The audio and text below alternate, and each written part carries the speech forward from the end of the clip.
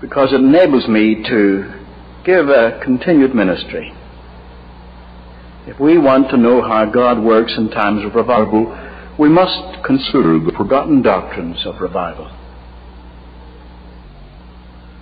Now, evangelism is a different thing.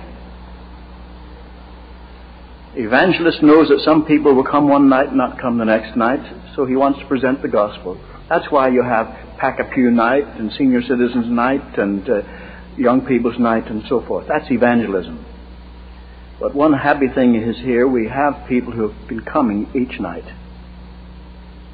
That's what I want to stress. I talked first on the first word of the gospel, repent. And repentance means to change your attitude. And then when I came back from the engagement in Chicago, I spoke on conscience and conviction. You remember I asked you if God should show you something wrong in your life, would you put it right? Many of you said yes. I didn't ask you to stand up and say it. You said, if the Lord shows me something wrong, I'll put it right. And then last month, I talked about confession. I think it's quite clear if we confess our sins, God is faithful and just to forgive us our sins and to cleanse us from all unrighteousness. If an unbeliever wants to get right with God, seeking salvation, he must repent and be converted. But if a believer already converted finds himself out of fellowship with God, he must repent and make confession of his fault. I said, let the circle of the sin be the circle of confession. If you've sinned against God, put it right with God. If you sin privately, put it right with the person you've wronged or someone hurt by it. If you've sinned openly, put it right before those who know about it. So tonight I want to give some scriptures to help you in searching of heart. I told you that I was talking to George Gallup.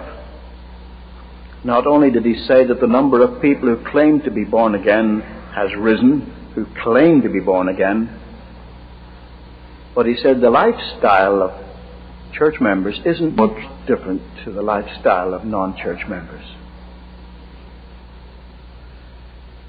So I wanted to speak to you about the Lord's standards for believers. And we're going to turn to that well known passage. You, I'm sure you know it. It's called the Sermon on the Mount. Seeing the crowds, he went up on the mountain. And when he sat down, his disciples came to him. And he opened his mouth and taught them. To whom was the Sermon on the Mount directed? To disciples, to believers. Now, I'm not going to deal with Beatitudes. I'm not going to deal with the statements, you're the salt of the earth, you're the light of the world. But I want to deal with his challenges. And I'm going to begin with a well known passage. If you look at verse 21, if you're following me, there you will find you have heard that it was said to men of old, You shall not commit murder. And whoever murders shall be liable to judgment. Now notice what he was saying. Everyone knows that murder is wrong. The Jews knew that murder was wrong. The Greeks knew that murder was wrong. The Romans knew that murder was wrong. There was nothing new here. And today we could say that murder is wrong, not only in the United States, but in Canada, in Cuba, and in any country you care to mention. Murder is a social crime. What I say to you, that everyone who is angry with his brother shall be liable to judgment. What a contrast! In one breath, he's speaking of murder. In the next breath, of bad temper. To whom is he speaking? To his disciples. In other words, I'm telling you that you must be more particular. Now, why should he make such a comparison? Well, you see, when a man loses his temper, he's possessed of a desire to hurt someone. He may do it with his tongue, he may do it with his fists. Have you ever heard someone say, I'll beat him within an inch of his life? In other words, I don't want to go to jail for murder, but I'm going to make him feel it. That's bad temper. But now, a man wouldn't say to his wife, I'm going to beat you within an inch of your life. Oh, there are some that do that. They're battered wives. But perhaps he'll give her a tongue lashing. That's bad temper. Desiring to hurt. It's sin. Now, I'm Irish, and most Irish people think that they're specially privileged to lose their temper. Irish people are noted for quick temper, aren't they? They're noted for good humor, that's true, but they're noted for quick temper. And as I told you in another meeting, I had my share of both. I had a bad temper. But I never admitted it was wrong. I called it righteous indignation. But it's bad temper. It's amazing how people can control their temper when they have to. I served in the Air Force I remember there was a sergeant in our outfit that was such a bad temper that the men said of him when he spat on the ground, the grass burst into flame. He was a rough tongued man. One day he came into the enlisted men's mess hall. Somebody had put a vase with chrysanthemums there. He thought of all the things for military men, that was the sissiest. So he said, Who put those flowers there? And nobody answered. He was provoked. He said, I said, who put those flowers there? And a PFC answered very evenly, the colonel put them there. And the sergeant said, pretty, huh? he could control his temper when he wanted to. I have seen drivers on a freeway cut in each other and shout abuse and make obscene gestures. I have never seen them do it to the police. You can control your temper. Now, if I wanted to know whether or not you had a bad temper, I wouldn't ask how you behaved in church. You're an angel here, comparatively speaking. I would ask those who have to take it from you your family, your employees, your workmates, those who have to take it from you, whether or not you have a bad temper. Now, bad temper is a sin. So what? We must repent of it. While we're at it, maybe we consider some of the other sins of the tongue. Not only bad temper, by the way, the scripture's full of it, you know. Cease from anger, forsake wrath. Could you put that in plain English? Quit your bad temper. Cease from anger and forsake wrath. Well, uh, there are other sins of the tongue. One is profanity. I remember the time when you never heard a word of profanity on radio, TV, or the movies. But they sometimes you're shocked beyond measure. But when I look around a Christian audience, there isn't anyone here foul tongued. You'd be ashamed of it, wouldn't you? But I notice that euphemisms are often used. In other words, when a man comes back from the war where he has used very rough language, now he noticed ladies present, he uses softer words that sound like the swear words.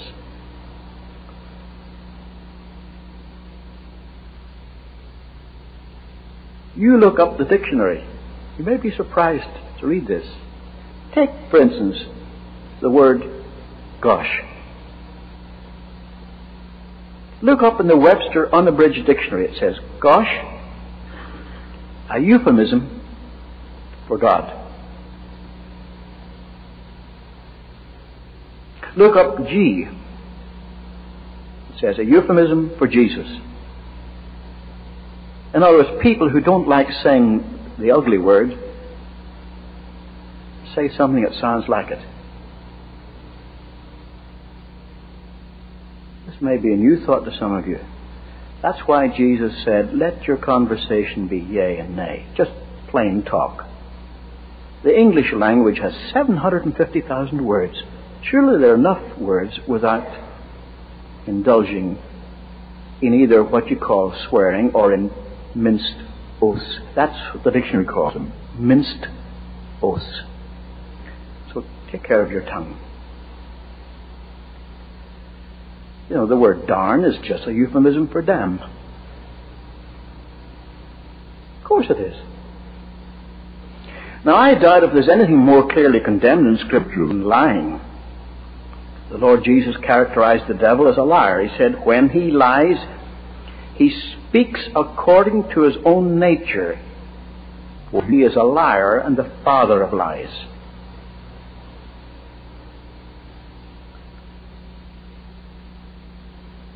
Now, when we apply this standard that the Lord Jesus gave us, everyone knows that murder is wrong. No murder in your heart. Everyone knows that lying is wrong. No deceit in your heart. Then he said, any time you give an impression contrary to the naked truth, you're guilty of lying. Now, you can say what is not true without telling a lie. You might say, Where is your brother? You've got a brother, haven't you? I said, Yes. Where is he? I said, He's in London. If you looked him up when you got over there and found he had moved to Glasgow in Scotland, did I tell a lie? No, I said what I thought was true, though it was not accurate. You can say what is not true without making a lie of it. But likewise, you can say what is true and give a totally wrong impression. I was speaking at a Christian college in New England, and I saw the president of the college kissing a pretty waitress. If I didn't add the fact that he had just come back from the Congo on a mission trip, and this was his little daughter, and he hadn't seen her for months, I would have made a lie out of the truth. There are some Christians who wouldn't be caught lying, but they deceive. They know they're giving a wrong impression. And that's the same test. You all know that lying is wrong. No deceit in your heart. I think we can go further than that. What about this subject of criticism? Now, that's a word that is used uh, in two ways. An art critic is one who goes to an art gallery and says, Well, now, I like this. He's very good with the colors. That's the sunset all over. But he goes to this, he said, Now, this isn't quite so good. That's criticism. But it's legitimate criticism, it's constructive. But the act of criticizing people unkindly is a vice. The scriptures don't call it criticism, they call it malice.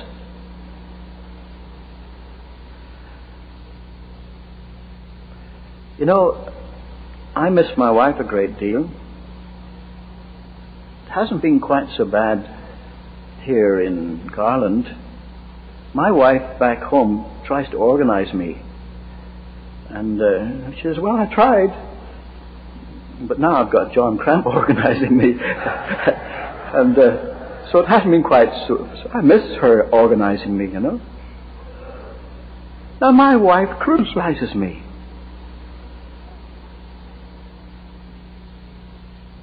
But because she loves me, that's why. She wants me to. She said, You know, the first time I ever saw you, you hadn't combed the back of your hair. She's so determined to keep me up to scratch, as it were. Do I resent this? Well, sometimes I'm weary of it, but uh, I know her motive is good. Loving criticism.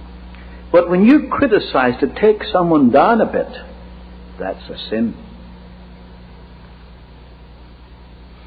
I remember when I was in New Zealand, I got a letter from a man who had criticized me so bitterly in Canada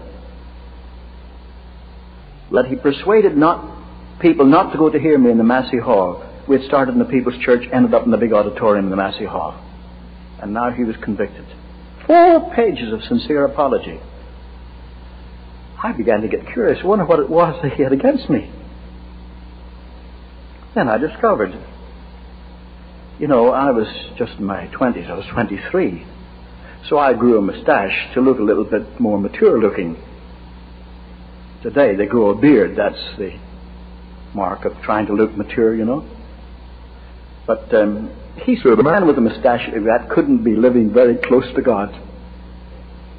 I thought that was the funniest thing I had ever heard. But on the other hand, when I got married, my wife persuaded me to sh- shave it off. But, however, that was before that. Then it suddenly struck me. The reason he criticized my mustache wasn't the mustache. He didn't like me. He was pulling me down. That's what he was convicted about. And when you criticize people, you're looking for faults because you don't like them.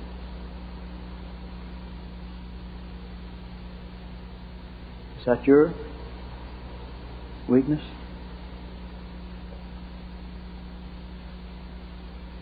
What about levity? Now, there's a distinction between humor and levity. Humor is really the spice of conversation. But levity is making light of sacred things. We shouldn't do it. Jesting is condemned in Scripture. Grumbling was the first sin of the church. It's also sin of the tongue. Grumbling was the first sin of the Christian church. And of course, foul talk. Impure conversation is condemned in the Ephesian letter. But perhaps we could consider it in another category because it's a form of impurity. Now look at the Sermon on the Mount, verse 27 this time. Here we find the same principle. The Lord Jesus Christ saying, No murder in your heart. And here he says, You have heard that it was said by them of old, You shall not commit adultery. Adultery was a sin to the Jews, to the Greeks, to the Romans. I don't know any political party in any part of the world, whether United States or the Union of Soviet Socialistic Republics, any party that advocates adultery. Because the family is the basis of society, and adultery is a sin against the family. Now, the Lord says you all know that adultery is wrong. But I say to you, everyone who looks at a woman lustfully has already committed adultery with her in his heart. The same principle. You know, you know that adultery is wrong, but no impurity in your heart. I've had people come to me and say, That's my trouble. If I told the people what I thought about half the time, they wouldn't speak to me. Impurity. Sins of the thought, sins of conversation, sins of behavior. Out of the heart of man come evil thoughts. leads to fornication, adultery, licentiousness, the evil eye. Those are the words of Jesus Christ. Most temptations are in the imagination. I was walking down Swanston Street in Melbourne just a few weeks ago with Glenn Shepherd of the Home Mission Board and Ivor Jones, an Australian evangelist. And one of these, I don't know what you'd call them in Texas, barker, people who try to sell you something, came out and tried to persuade us to go in for what they call adult entertainment. What a misnomer. I would say adolescent entertainment. Certainly not adult. It's not responsible. You know, young people growing up get curious about sex, but how, how you call this adult, I wouldn't know. Of course, we walked on, but then Glenn Shepherd and Ivor Jones were quite surprised when I went back and spoke to the man. I said, Why fool around with calico when you've got silk at home? I hope that sank into his mind. Maybe he didn't understand what I was talking about. But it's true, we suffer a lot of temptation today that we didn't have 30 years ago. I travel a great deal. I have to sort of get used to uh, homesickness Someone asked my wife just last week, how do you put up with all these? I mean, how do you come for your happy married life? So to tease me, she said, well, he's away half the time. but I think to be fair, when we get back together again, we can show our affection. But I was staying, preaching at a big Christian college, and they put me up in a Holiday Inn. I like to be a horizontal Baptist every afternoon directly after lunch. But uh, I like to turn on the TV while some kids program about the Flintstones or something is going on. I just go completely asleep. It doesn't keep me awake. But the sound in the room helps me to sleep. I left the TV on. When I wakened up, what was on was what they call soft porn. I thought, what's the world coming to? Three o'clock in the afternoon. So I switched it off. As I say, why fool around with calico when you've got silk at home? So I just switched it off. But you know, the enemy came along and said to me, Don't you think as a preacher you ought to know what's going on these days? God gave me the grace of saying, no, I don't want to befoul my mind. But perhaps there's someone here that this word is meant for. You have indulged in purity of thought by watching X rated stuff. Shame on you.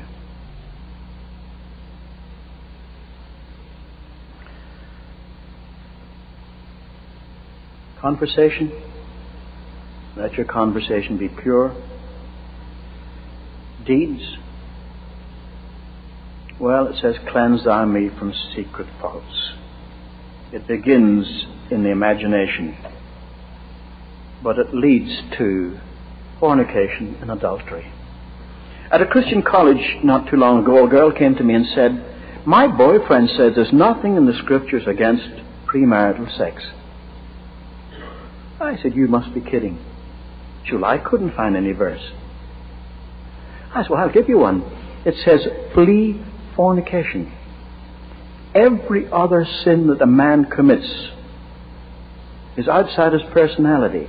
But the immoral man sins against his own body. She says, What has that to do with premarital sex? That's what the word fornication means. Oh, she said. She came back the next day and she said, My boyfriend says, don't quote the Apostle Paul to me. Jesus was more understanding. He said, Neither do I condemn thee. I said, Finish the verse. Go and sin no more. But I, actually, when he said that, he was speaking about adultery, which is extramarital sex, rather than premarital sex. But I said, Would you like me to give you a quotation from the Lord Jesus himself on premarital sex? She says, If there is one. Oh, I said, There is one. It's not what goes into a man befouls a man, but what comes out of his heart. And out of his heart come evil thoughts, murders, fornications, robberies. She said, Why does it put such a nice thing, a sex relationship, in such bad company? I said, You've got a point there too. I said, God ordained the relationship between the sexes for the procreation of the race and for companionship. The relationship is the highest act of love between a man and a woman, but it's always wrong outside commitment, marriage. Always wrong. But you see, so many young girls today, well, I sometimes ask my grandchildren what it's like in high school today. They're not taught this, they're taught the very opposite. But we've got to keep ourselves clear at this point. I'm going to mention something else, and that's the sin of wrongful possession. Again, we'll apply the principle the Lord Jesus has given us. Everyone knows that it's wrong to steal. The Romans knew that it was wrong, the Greeks knew that it was wrong, the Jews knew that it was wrong. Today, they know that it's wrong to steal in the United States, and you also find if you steal in the Soviet Union, you go to jail. Stealing is a social evil. Now, the average Christian will not steal.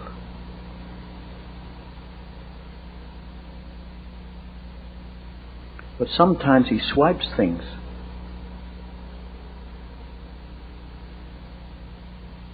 The Bible condemns swiping. You say, swiping? You mean it says, Thou shalt not swipe? No, no. But it does say, very simply, not pilfering in the King James Version, not purloining. That's an old fashioned word, and we don't get the force of the, the word. Not pilfering, but showing complete faithfulness. There are people who take little things they say, well, everybody does it. But it's not right.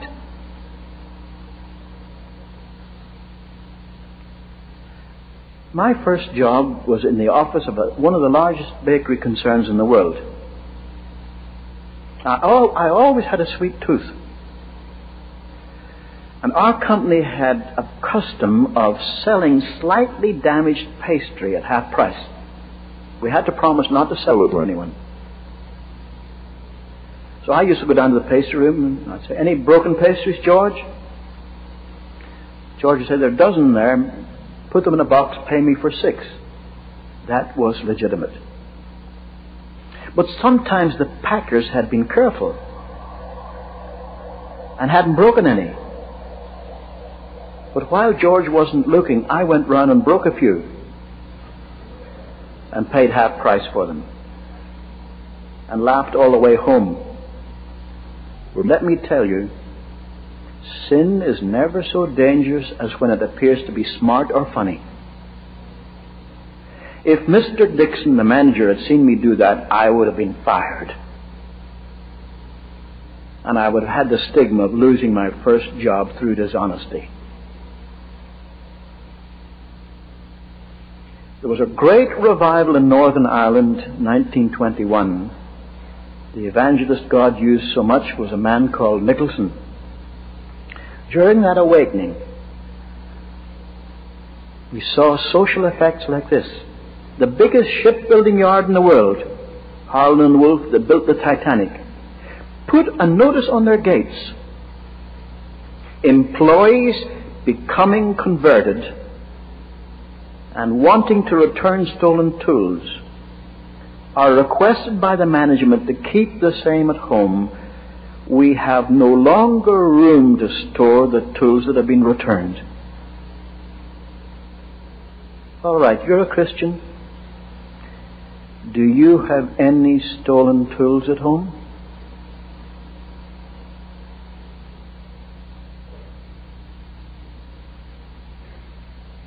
Those of you who are in professional work, do you have any books on your shelves that belong to somebody else? The poor guy that lent you that book has forgotten to whom he lent it. It's his, you have it. You're in wrongful possession. I have it all sorts of people. I remember once in Seattle, a fellow coming to me and said, Your word on filtering really hit me. He said, I ought to put things right. I said, What was the particular occasion? Well, he said, I swiped an outboard motorboat. I said, Swiped? That's grand larceny.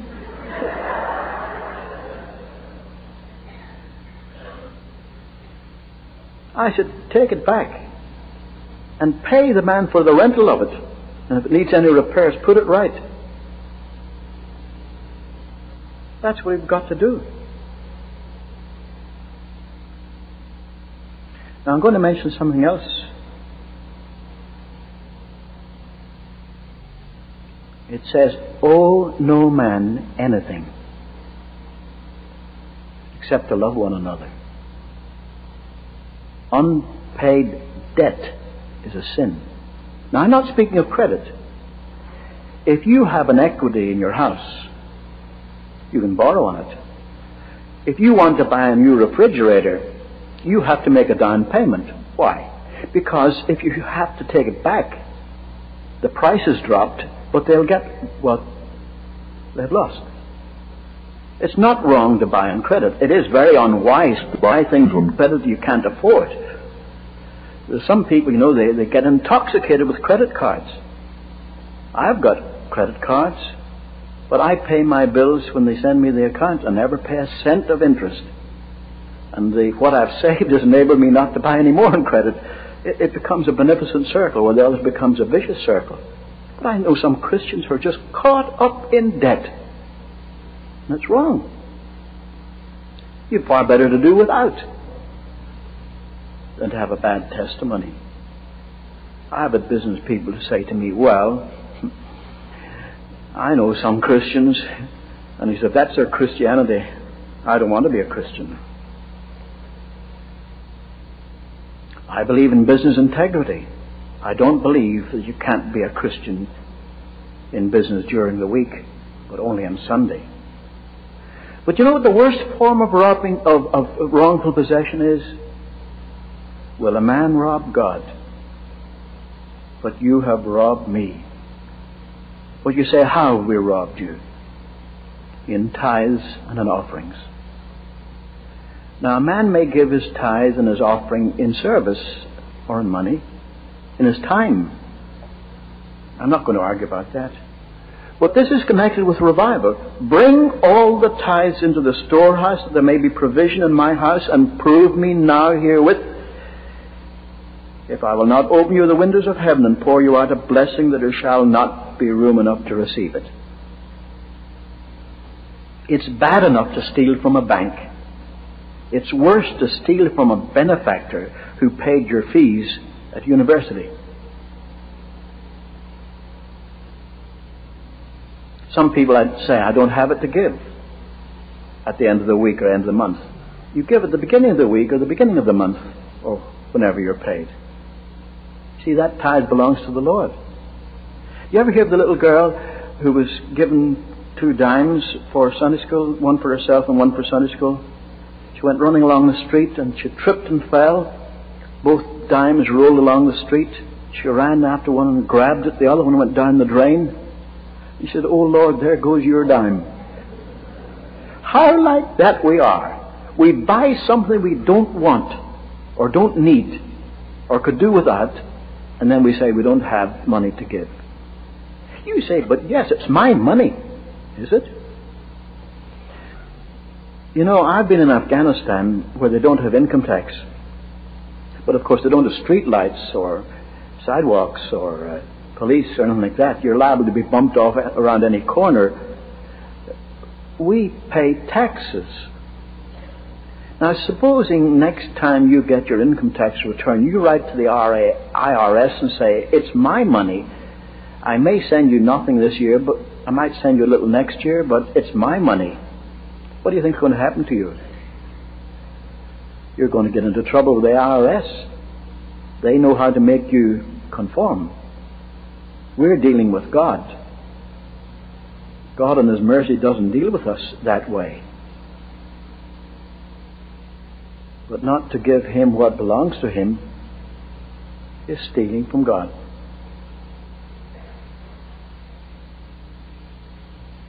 You remember I talked to you on repentance? Do you know that the word repent occurs seven times in the letter to the churches?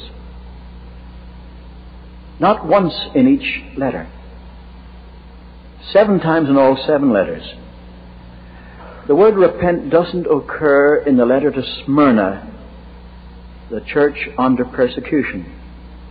And it doesn't occur in the letter to Philadelphia, the church in revival. I was in China a couple of years ago where it's costly to be a Christian where they live in fear, but it's purified the church. I wouldn't like to go. I remember talking to a Hong Kong Chinese, and he said to me, Do you think when things change regarding China, we're going to have the opportunity to evangelize China? I said, I think it's going to be the other way around. The Chinese Christians are going to evangelize you because Hong Kong Christians dearly love to make money. They live for that. In China, the believers don't need to repent. They've done their repenting. But in revival, they have repented. They've been cleaned up. They're filled with the Holy Spirit. But in the other letters, you'll find the word repent occurs. There isn't time to deal with them all, but to round out this talk that I'm giving to you, I will say that sins of the Spirit are a far greater hindrance to sins to revival than sins of the flesh. Our Lord was doubly lenient with a poor woman caught in sin, and trebly severe with the pride of the Pharisee. Spiritual pride is a sin. To think more highly of yourself than you ought to think. But I noticed uh, in the letters to the churches, to the church in Ephesus, write, I know your works. That means how you behave. Your toil and your patient endurance, how you cannot bear evil men and have tested those who call themselves apostles but are not and have found them to be false. We understand that the church at Ephesus was the first of the Christian churches to be invaded by heresy. But they closed ranks and stood for the truth. But they lost something in the process. Glenn Shepard and I were speaking at the Baptist Assembly in Australia. The biggest attendance was not for the meetings for prayer for revival, although they were encouraging. The biggest attendance of those good Baptists down there was the evening they discussed the big fuss over the Baptist Theological College. I was at the Baptist World Alliance in Los Angeles. I was expecting to see lots of my Southern Baptist friends. I'm an Irish Baptist. Somebody asked me, Are you a pillar of the Southern Baptist Convention? I said, No, I'm a buttress. I support it from outside. But uh, I didn't see many of my friends. You know why? They all came to Dallas for the big fight. They couldn't afford to go to Los Angeles. That's one of our problems. Some of us who stand for the truth lose. So what does the Lord say?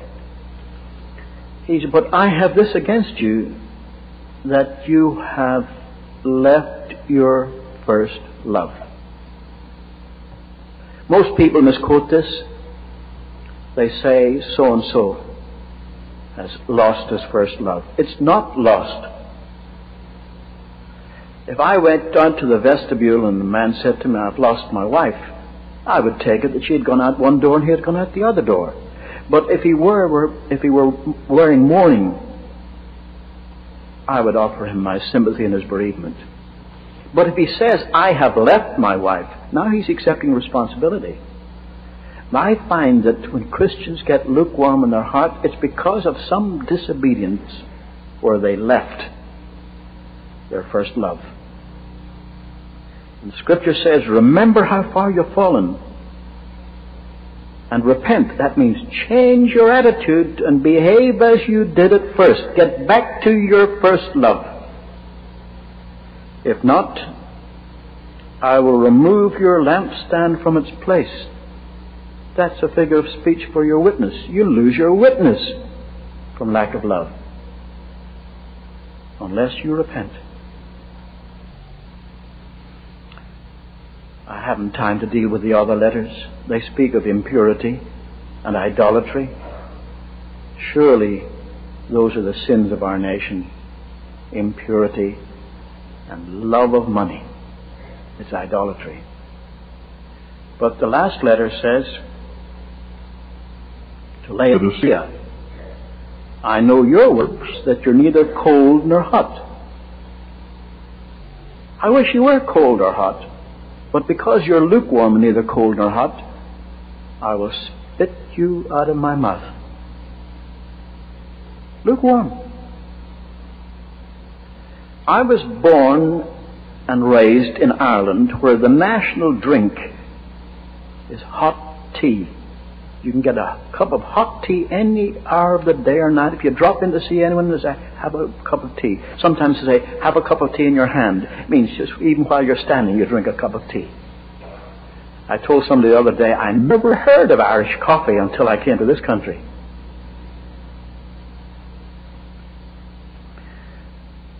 But it wasn't until I came to the States I learned to drink iced tea. I'd never heard of iced tea. Of course, the climate over there is a bit like a refrigerator, so why would they want iced tea? They always want hot tea. When I was over, I told the Irish, you know how they make tea in America? They heat it up to make it hot. Then they put in ice cubes to make it cold. Then they put in sugar to make it sweet. Then they put in lemon to make it sour. But I have to admit that in summertime there's nothing more refreshing than a glass of freshly made iced tea. Notice what I said freshly made. These people who boil the stuff and then put it in, that's not real iced tea. I love hot tea. I like iced tea. But I don't like lukewarm tea. My mother used to say, take this dishwater away. Is it not common courtesy in America to say, let me warm up your coffee? I like hot coffee. In Australia, I learned to drink iced coffee. You should try it. It's lovely in summertime. But I don't like lukewarm coffee. I like hot soup in winter. I like cold consomme in summer. But I don't like lukewarm soup. And the scripture says, Because you are lukewarm and neither cold nor hot, I cannot swallow you. Maybe we say, I can't stomach you. This is the Lord speaking. I will spit you out of my mouth. You say, well, are you referring to me? I don't know your life, but let's just take the departments of your spiritual life. You never pray from one end of the year to the other. You say, that's not true. Then you're not stone cold. But you pray without ceasing. You keep your promise when you promise someone you'll pray for them. Some missionary you say, I'll pray for you. Would you like to write to that missionary and tell him how often you've prayed for him? He might come home. You're not hot.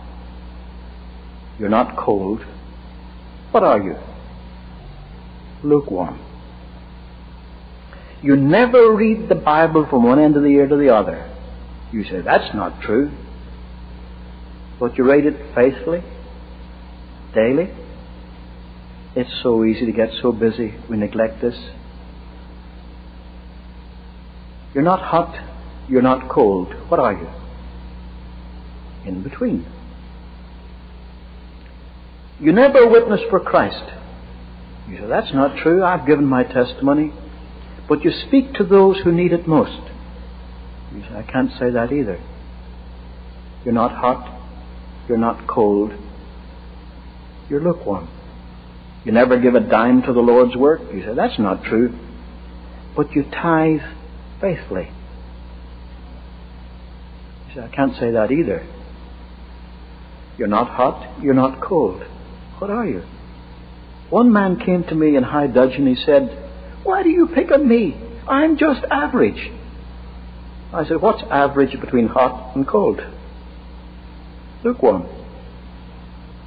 Does lukewarmness characterize your life? No, the rest of it, because you say, I'm well off. I've got along fine. I don't need anything. But you don't realize that you're wretched, pitiable, poor, blind and naked. Therefore, I counsel you to buy from me gold refined in the fire, white garments to clothe you. Then it says, Those whom I love I rebuke and chasten. Be zealous, therefore, and repent. That's not colloquial English. Be zealous, therefore. How would you put that into Texan slang? Get on the ball and change your attitude. It's not that pretty plain. And then comes that wonderful verse Behold, I stand at the door and knock. If anyone hears my voice and opens the door, I will come in to him and eat with him and he with me. You told me the beginning of the week, if God shows me something in my life, I'll be glad to put it right. Will you? Will you put it right? As I said last night, if it's secret between you and God, put it right with God. Nobody else needs to know about it. But if it's private, it concerns somebody else, or you've hurt someone else, put it right your friend or neighbor. If it's open, other people know about it, put it right with them. If we confess our sins, He's faithful and just to forgive us our sins. Now, the customary thing to do when we give a challenge like this is to give an invitation. And get someone to play the piano. Have someone come forward and stand here you could do all that and not put things right. I would much rather you would say, well, that hit me tonight in a certain respect. By the grace of God, I'll put it right. You might not be able to put it right here. You might see someone here that you've had a feud with go over and put things right. But generally speaking, it's back home or at work you have to put things right. Or you may have to write a letter. So I'm not going to give an invitation forward. I'm just going to say, in the presence of God, is there something in your Christian life that needs putting right? That's why we have made it our theme song Search me, O God, and know my heart. Try me and know my thoughts. See if there be any grieving way in me then lead me in the way everlasting. Let's bow in prayer.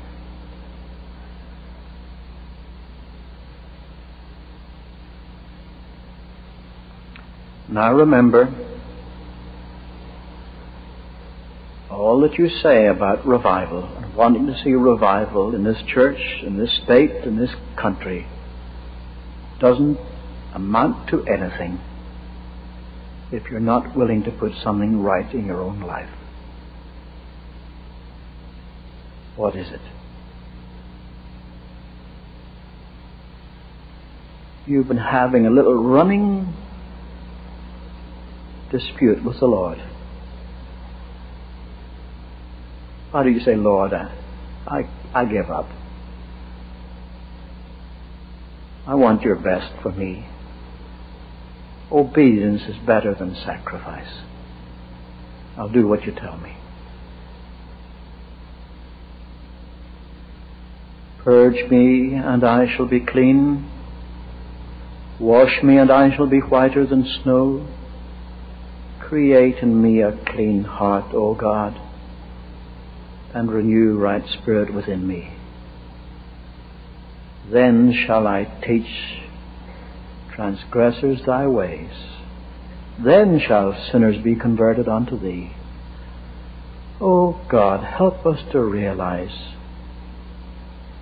that our low level Christian living keeps other people from being saved.